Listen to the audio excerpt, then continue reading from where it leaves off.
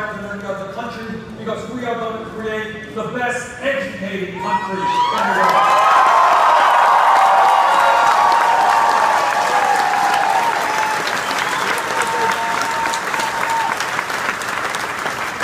When we talk about the economy, it's not just unemployment, which is much too high. It is the fact that in America today, we have millions of Americans who are working for wages that are just too damn low.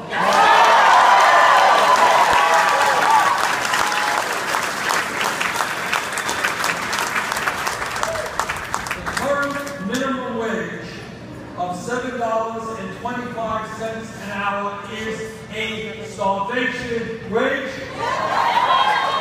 And we are going to raise the minimum wage to a living wage of 50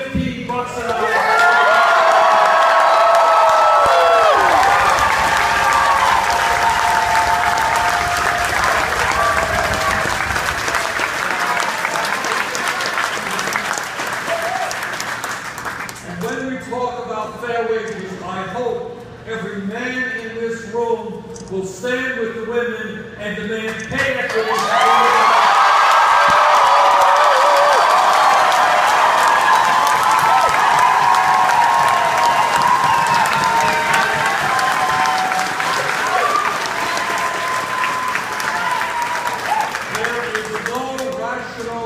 Economic reason for women to be making 78 cents on the dollar.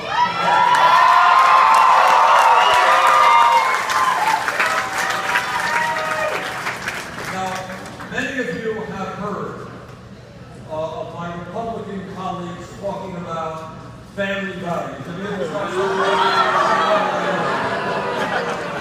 Just love family. This is the moment where you yell out bullshit.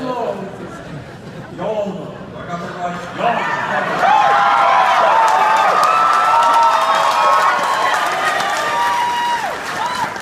word. It's one word, yes. You know what they mean when about. What they mean is that women in this country should not be able to control their own bodies. I disagree.